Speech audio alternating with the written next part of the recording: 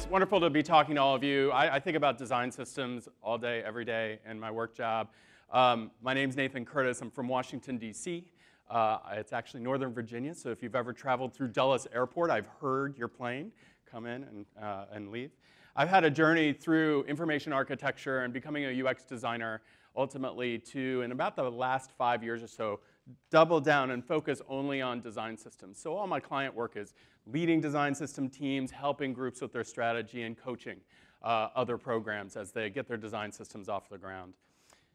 When I talk about design systems, I really introduce them and try and boil it down to what are we trying to solve? What are, what's the main thing we do? And design systems in today's interface world consist of a visual style, a visual language of color, typography, iconography, space, and things, applied to UI components, buttons, forms, and all the other smallest parts, part of our core that we use to make our experiences. And we take those systems and we make products out of them. We make interfaces that solve problems. And so we see that big blank canvas and we take features of the system like a grid and like all of the components that we can apply in order to solve a problem like authentication.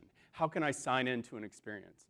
And as a designer, that's not just a page, it's a flow, it's a journey to get you into a different place in this case. And so you create pages like create account, forgot my password. You start to solve a myriad of different tasks or problems for the user. And as a designer, you're using programs like Sketch to do so. Figma, uh, Studio from InVision, Adobe XD, whatever product you use, and ideally when you're working with a set of developers, maybe that have their own React library, they have complementary tools that are the same features, that express the same thing, that have the same building blocks to compose the experience with that material. And so the challenge of systems is really building upon that. You have a team of designers, engineers, and maybe some other people. And there's six teams in your organization, and you all want to build the same way. You all want to achieve consistency. You all want to increase your speed to market and you want to raise quality. And in today's world, these digital product organizations are getting bigger and bigger. Maybe it's 36 teams. Actually, maybe it's 200 teams. And so part of the scale of design systems is taking that system, and I'm going to represent that by a diamond today in, in the diagrams you'll see, and applying it to be consumed or depended upon by product teams. That's the relationship. Those are our customers. And so we think about systems and we think we're the top, of, top note of the tree, and then we realize we're not. We depend on brand identity. There might be a group in some other place that helps us understand how to apply color, typography, a logo mark, other simple principles, because they're applying that across lots of other places too. And so we're a node in the chain of that dependency. But to our product teams that adopt us, we are the single source of truth. We have achieved the scale. Everybody's happy. We've solved the problem of design systems. Gosh darn it, it's never that simple. If it was that simple, everybody would make visual style and UI components and call it a day. And so there are challenges that we have with this. And those challenges are what I'm going to cover with the rest of this talk, that I'm starting to discover that are more and more painful and harder problems than actually making a library. And that involves the outputs we produce, the adoption we seek, the generations over time that we have, ultimately the competition that emerges in these organizations at scale, and finally the opportunities we have through the hierarchy of systems that we can create. And so let's talk about outputs first. Throughout the rest of today, we're going to take a look at that diamond of a system and realize that that diamond provides different things for different people. On the one side, we position the designer's tool, like I said, Sketch, all those assets that they do in their day-to-day material-based making, and I'm not talking Google material, but the material that they use to compose interfaces, to communicate what those are. And on the other side of the diamond is the code.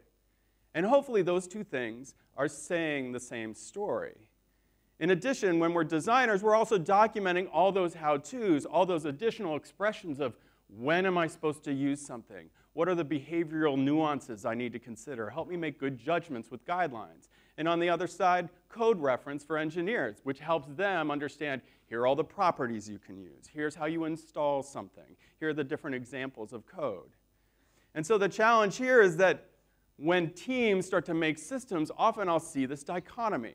We've got a community of designers on one side, you have a design systems team of sorts that are making their guidelines and sketch assets, and on the other side you have other engineers that are making code and the code reference material.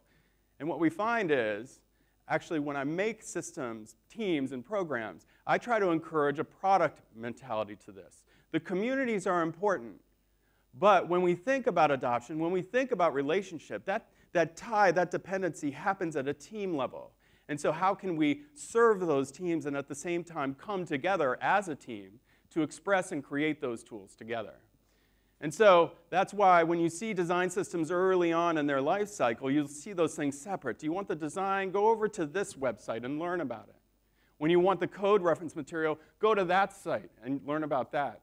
And as those tools change at different rates, as those tools are influenced by both types of disciplines, what we find is actually designers out there on the teams working with their engineers, they go to the code site because that's their source of truth, leaving behind or on an island all this other design guidance that you have. And so when you think about building your design system, like Shopify Polaris, like uh, Morningstar or IBM Carbon, think about ways to fuse the message of what your system provides so that designers and engineers using your system can use it together and have that shared vocabulary and have that synchronized set of tools that they need to have.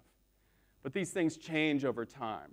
And as they change, we need to think about the adoption of these tools by different teams. And so a quick thing is, okay, we've got 36, or in this case, 21 product squads using our system. Turns out some of them don't use the code. They stick with their own code, but embed the design into that and others actually don't adopt it at all.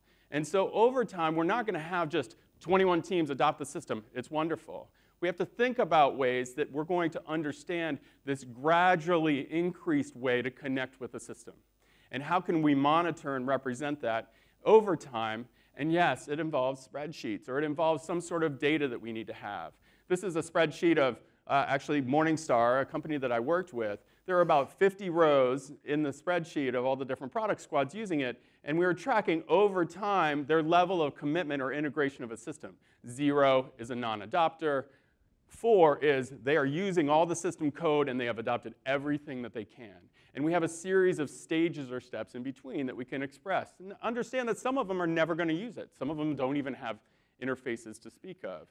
But also, uh, grayed out here is an understanding of who our customers are. Who's the product lead? What's the name of the tech lead? What's the name of the designer? And organizations that can't fill out this spreadsheet can't help me understand who my customers are. And as these products adopt these systems, we understand there really is no big bang anymore of systems. There's no massive redesign.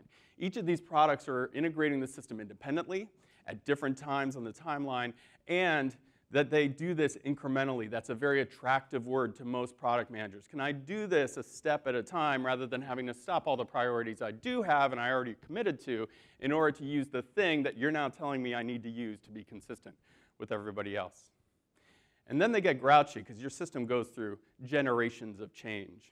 And so when I talk about a generation, that is a shift in the design language, that visual style, and the designed expression of all the components, or the code behind the scenes and how it's architected to support them.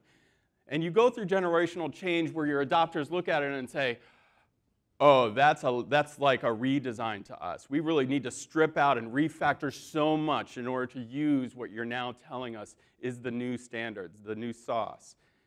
At an insurance company I was working with recently, they helped me realize across their six key flagship products that they really emerged starting in 2011 but actually about one a year through 2017. And over that course of time, they did many big launches. And each of these launches represented a big refactor, a big redesign, or a rethinking uh, from the ground up of what their product experience is. And they realized that, yes, we've been living with some of these products designs for a really long time. And so you overlay all of these different system generations as the systems change, and you start to map that to the big periods of change for each of those products, and you'll realize that in some cases, over the course of two years, you get one shot. And that one shot isn't necessarily when your system comes out. It's actually maybe 12 months later or 18 months later.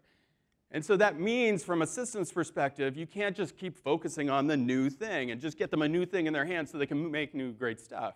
Because other teams are going to live with the old thing. And that means support. You have a product. That product and its use is going to diminish over time as others uh, uh, adopt a new version of the system. And that ending the life of the system isn't at the end of the dark gray bar, it's at the end of the orange bar to give your adopters confidence that you're going to be around to answer the phone, fix their critical defects, and still have a repository that if they need to live in the old system, they can still build some features into the old system. And that's going to help them out. And so we think about that generational change over time, and if it happened from 2012 to 2018, it might be that from a design perspective, the last real major generational change happened in 2015. That's when you got this primary button that's blue, it's rounded, it's got a pill-like shape, and it's changed much uh, less over the years since then. But from a code perspective, we need to be empathetic to the people that spend probably 10 times as long working to code up the system that we've designed for them, that the API to that system has changed. Before it was a class CTA, now it's a class BTN because that's how Bootstrap does it. And then we have 2017, and we're calling this sys button because we're using block element modifier as our CSS methodology. And then even in 2019, well, we're just going to make web components because we have React here and Vue here and Angular there. And we know that to be maintainable over a long period of time, again, the API is going to change. And so they, adopters tolerate this uh, process of adoption. They know they need to do it. They are bought into the fact that consistency across or cohesiveness across a customer journey has value to our overall product portfolio. But they don't like to change. And they definitely get annoyed when you ask them to change what they've already adopted. And so thinking about words that we use to talk about systems frames a language that are either going to be that's going to be successful or not successful. When you use words like migrate, refactor, new, or monolithic, oh my gosh, people get really tense. And so how can we start to use language that instead is upgrade or swap, which feels much lighter weight, and next, and incremental? But I say this not as a vocabulary exercise. I say this as a spirit or principled way of looking at our system and being empathetic with our customers because we have to be like the green words. We can't just say the green words. And what are we doing about how the system works and it's integrated to achieve or uh, uh, reveal that? And so we have version numbers. We have ways to help them understand that change happens. And they love patches. When that final number changes, that means you fixed a defect. Nothing else has changed. There's no new features. There's nothing's broken. But if you add a new feature, we call that a minor release. Sometimes people call that a feature release. And so that middle number changes. That's good. I like new features. But ooh, that big number, that means the whole bet is off. That means everything's changed. That means, oh my gosh, we have to readopt this monolithic thing. And that's not necessarily the case. It actually just means the API broke. And you might be calling something sys button, and you want to change it to sys primary button and somebody could do a cut and paste, and otherwise everything works exactly the same. And so the amount of effort to change and adapt to a breaking major release doesn't have to be really huge. And so we think about our design objectives too. It's not just about classes in CSS, but instead in 2015, that button, it actually wasn't the best kind of text and background contrast. But by 2017's generation, we solved that. We got to a level of contrast between the white text and the blue button that met accessibility rules. And in that generation, we also started to add support for a wide range of different color backgrounds, essentially light modes and dark modes. There were other colors too, and we needed to ensure that everything remained accessible, except those rules we depend on changed. And so when WCAG 2.1 came out, it said, it's not just about the color of primary as text and the background color of blue. It's about the relationship of that background color blue to the background that it rests on, its adjacent color. It needs to have a 3 to 1 contrast ratio. And then we test those and we're like, oh my gosh, we thought we had solved for accessibility, but accessibility's rules changed. And so what does that mean? Well, we just add a new feature, we think, to the design system. We change the color of the primary button on the darker backgrounds to increase the contrast level to an acceptable uh, threshold. And so then in 2019, we've got a new system. And it looks like, from a code perspective, that it's just a feature change. We've now got a new color. But actually, it's not. When you adopt the system, If they just adopt it and change nothing, nothing should break. But we are now actually saying, from a design perspective, you have a visual breaking change, which requires you to go in and refactor your code by adding the class. It's a subtlety, but designers from a systemic level need to get involved with conversations where it's not just the code's API, but the relationship of the design choices you have threaded through a system where other people that invoke that system need to be much more cognizant and aware of how those rules change. And so that can also, these generations can result in what we sometimes call Frankensteins. That's where visual style and UI components are from different generation in the same page and it all just looks messed up. Or is that the right mentality? Sometimes is it a patchwork? Is the degree of difference between those designs okay? So on the left-hand side, that's a Frankenstein. You've got that orange gradient. I miss gradients. Oh gosh, didn't, doesn't that, uh, actually, maybe we should go back, but maybe not. But we've got a primary button on the left-hand side that's orange, and it's in clear conflict from a visual language perspective with the secondary ghost buttons that are down. That's a Frankenstein. But on the right-hand side, team one might be working on the top part of a page, and teams two and three on other parts of a page. And they're on different generations, but that level of difference is acceptable. And so as you think about graduating or upgrading teams across different versions of your system, how are you thinking about communicating what's a level of difference that's acceptable enough and, beyond, and how long are we willing to live with that level of difference? But you don't want to communicate that when a new system comes out, you have to change everything now because there's no acceptable difference and there's no time and instead often characterizing as you build new features, use the new system and be cognizant of the level of difference within the old system, within a page or within a flow or within an overall customer journey that you have. And so then we get to competition. Why? Because you have lots of products. In this case, maybe upwards of nearly 100 products, maybe 80 products, and it turns out that those products are made in different organizations. And it's so common if you have an organization, a digital organization that has a dot-com group and a product group and an enterprise intranet building tools group, that they're all going to have their own systems. Of course, they are solving a great systems challenge because there are 15 product teams making the dot-com experience. That's a lot of teams to coordinate. But is it okay that we've got these lines separating parts of the business and they really form this sort of challenge for us to think holistically about what our overall customer experience is or what people's engagement with our digital portfolio is. Banks are similar. They have like credit cards and bank accounts and loans and other kinds of investing products. And it turns out that banks also have different segments. They have their consumers and they have their business and their institutional clients, many of which have all those different kinds of products available to different types of customers. Oh, and then there's different points in the customer journey. And so you have to think about marketing, acquisition, and servicing. These combinatorial effects result in lots of systems all over. And so how do you deal with the fact that these systems exist and when you ask the question, is it okay to have two or more design systems? Should we consolidate? And if so, how is that going to work? And so you have problems to solve. And grounding the work that you do to consider consolidation needs to consider is the design language convergence our primary goal? Is the redundant code libraries that we have and the architecture of those our problem to solve? Is it the redundancy of the operations and the program and the design ops and the teams our problem? Because it turns out, like a project I'm on now, all three of those are challenges that are problems we want to solve. But it, it was a big step for us to recognize we can solve the third one in about two sprints. We can solve the first one in about three months.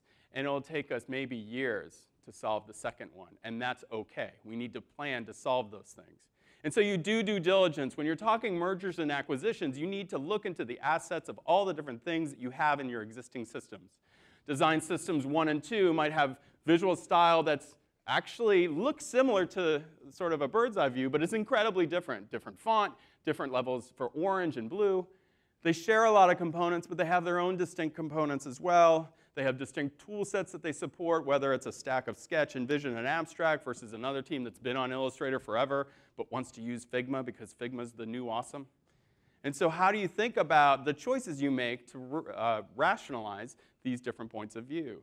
Code is even harder. There's a huge list of things that you can compare. Across categories like how do we make the features we have in design systems? What are the tools and architectures that we have that support that making? What kind of testing suites do each of the systems have? And, and how do they make and publish the documentation that everybody else learns from? I had a spreadsheet that was about 100 rows long that covered all these different categories and subcategories and lots of columns comparing different things. And even getting that to recognize the level of comfort or discomfort that individuals in the development community had around the choices to the 2B that we had was difficult. And that gets at power dynamics. Because when you have a system team one on one side and system team two on another side, they may bring different mindsets to this uh, process. One might be believing our teams are coming together. We're going to merge, and we're going to address the enterprise together to solve all these great problems. And on the other side, the other team might think, we are awesome. We have an adopted design system. We've got the most modern tools. We're just taking that other team, absorbing them into us, and we're going to take our tools and move them even further forward. And you can imagine the kind of dissonance that you run into between teams that come in with different expectations about a merger or acquisition. And so it gets at mindsets that you have.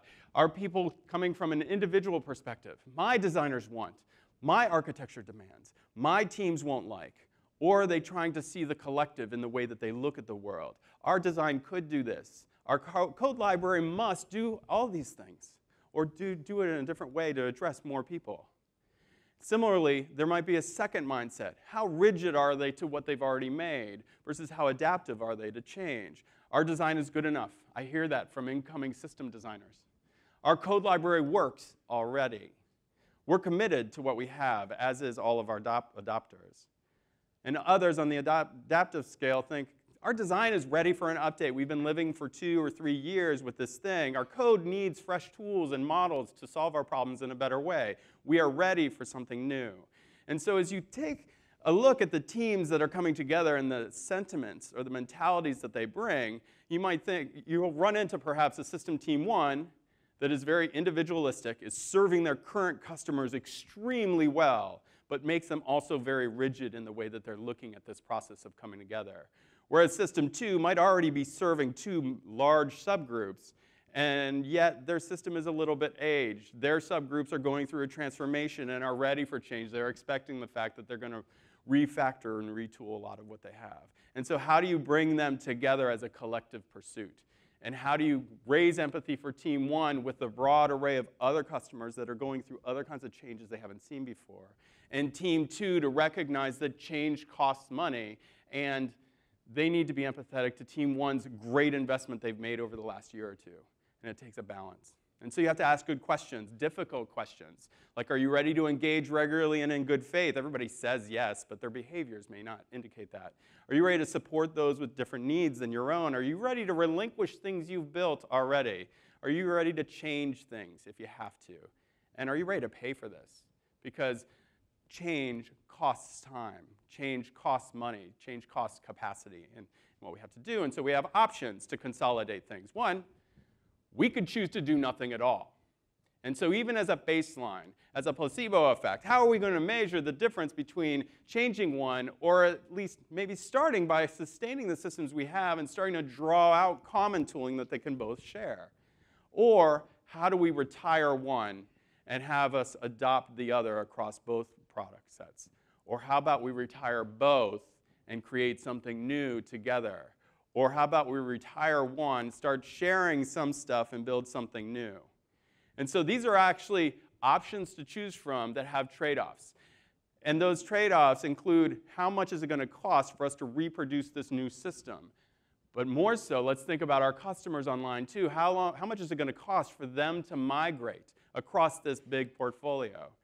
And ultimately, our goal is in the future we have an easier to maintain consolidated system architecture for design and code. How much is that going to cost? And how are we going to balance these trade offs?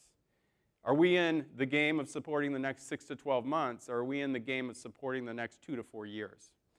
And even thinking about those kind of time frames changes the way you look at these trade offs. And so I remember talking to Kaelig, he's a design or DevOps supporter of Shopify, and he said, you got to realize you're, you're in a long game here. And you're going to be in a, point where you're trying to converge folks on a target state that you can help define. And that convergence is going to happen at different times, and it's going to be imperfect. but you're still going to have to be a light that they follow, that Polaris that Shopify, in their case, has created. And it can take years. Because this is our goal, right? We have one system. We have one system that has all the answers. It's singular, it's perfect, it's the truth. That's where we want to be. Except maybe it's not. Because hierarchy in systems might be something that instead of thinking of it as complexity, we can think of it as a level of complicatedness that's desirable because it helps us achieve more goals. It's even evident in systems today. As you look at the IBM design language, they have a design language with many guidelines that then is used and applied to Carbon, which serves their product org, and another digital library that serves their web org. Yes, there's some redundancy in the latter too, but they are being built with a common shared core that creates hierarchy within how it works at IBM. I'm fairly confident that there's some other design systems out there that leverage that common core. And I'm also confident that there's some that don't leverage any of that at all. But it's at least it's a hierarchy. And another example that I have run across with insurance companies, for example, is that you have the dot-com, the sales, and the servicing, points of the life cycle that divide out their product teams into three big groups. And they had a design system that had design guidance and the code libraries. But the sales team wanted to move fast. And they said, can we use your architecture and create a second repository? and just reuse that whole stuff. We want to make our components there the way you make your components. Why not? That's an opportunity. And it turns out that that collection of system tooling enabled them to work so much faster and in alignment with how the system works. And now it's a question of, of those 100 components in the sales kit, maybe 20 are relevant to the other two orgs. And so how are we going to think about promotion from the sales kit to the core kit? And how are we going to think about challenges of equipping the designers in the sales org with design tools corresponding to that sales kit and communicating through documentation what's in that sales kit? And should that be an investment that we take? Target did something similar. They used Lingo app. And Lingo app is a way to have a lot of sketch assets across different kits so that different teams have access to different parts of the tools. And so they had six. Their design system was called Nicollet. And they also had a separate kit because there's so many icons, it's huge. And so they had two kits that corresponded to the core that they provided. It was viewable by the entire design community, but it was only editable by a choice few, essentially the members of the Nicollet team and a few of their closest friends. But then that architecture was expanded with a second tier to support all the other groups making stuff themselves. And so as you think about, for example, the account group that they had, they were working heavily on cards, but their cards had different kinds of requirements around the kind of content that went in that card and different kinds of connections to different data repositories to render those cards. And so they had their own set in the account group of components they were working on. And so the Nicollet team had edit access to that, the whole account design group had access to that, and then everybody else could still see that so that as they raised opportunities for sharing, those opportunities bubbled up. And so for Target, to them, they suddenly had the design tools that they were using lowering where the threshold is of the system providing an architecture that many designers use rather than just seeing the system as this core set, the sketch file, and the documentation site that they used in their day-to-day -day work. A more sophisticated example I've seen in the wild was an online software company that had lots of different groups. They probably had over 100 teams so this is being a little generous, but there were three main products. The, P, the 15 uh, team product, the 10 team product, and the 5 team product that were really the three big flagships. And so, as it turns out, within those groups, two of them had design leads that had a close relationship with the system team that made their own sketch extension kits on their own. And then you had in the third group uh, a woman dev lead that said, I'm making our own kit. And I'm going to model some of what we have based on how the core kit works at the top, but it's the additional components that we need that nobody else needs. But they'd also enabled this behavior within their core code kit, the ability to work on things across groups too. And so they had a navigation kit and an editor kit. And think of editor like uh, you have um, the ability to edit text, you have a toolbar above how to edit text, you have different modals that come up when you have certain kinds of uploads you want to do into that rich text editor and so on. And that's shared across many different teams. And so as they had these kits emerging across the groups, suddenly their code kit both expanded significantly, which was great, but then started to involve a lot of different people working at different levels of quality. And so that became a challenge, but it makes me wonder how far down is this system going to be an architecture for making things that enable us to share, not just across groups, but within groups, because even that first out of four product groups had 15 in there. And that kind of sharing is a, the amount of sharing and scale that the system promises to provide. And so we need to think about the quality that we expect out of all those different things. The closer you get to the bottom of this diagram, the closer you get to an individual team, the faster they want to move and the less they want to be encumbered by rules of the system, complexities of the system. But the higher you get, the more people expect that this stuff is going to be excellent. It's going to be perfect. It's never perfect, but it's going to be close to perfect. And so, how do you set rules or create ways that people engage from the lower part to the upper part such that they're willing to do so? And it might be to get from good, you just need to make a component to have what we call a visual testing page. It's just a page with a bunch of rendered examples that have some structure to them. We have hostile styles that try and penetrate the CSS walls of the, that block to, to make it look incorrect and so on. For the better ones that may be getting across groups, you have to have robust unit testing, visual regression testing. It has to be audited for accessibility as opposed to just we're making it to try and be accessible. And then to get to the very top, to be part of the core, it has to work across all the color modes. It has to be brandable. It has to incorporate right to left displays. It has to have all the analytics embedded in it. And so you can imagine a contributor trying to just share something across their group. They don't want to do the stuff on the right that doesn't matter to them. And so, how are you going to create, whether it's code here or design there, rules that help people understand how much work they need to do before it's legitimately shareable with others?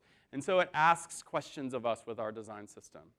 Are we going to remain a small core kit made by a smaller group of people that everybody else reuses? Because that's how a lot of people start, and it's a great place to start, but it's also sort of a ceiling that many hit.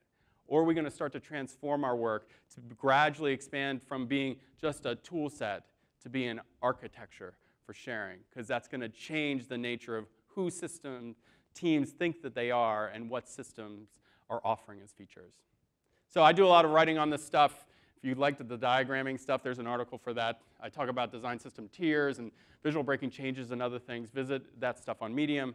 And if you're in the design system space but not yet a member of Design System Slack, there's over at this point 10,000 members. Uh, and you go to design.systems, you get invited, and there's a robust array of topics. And, and I'm one of the admins of that. So we'd love to see you there and, and talk more about design systems. Thank you very much.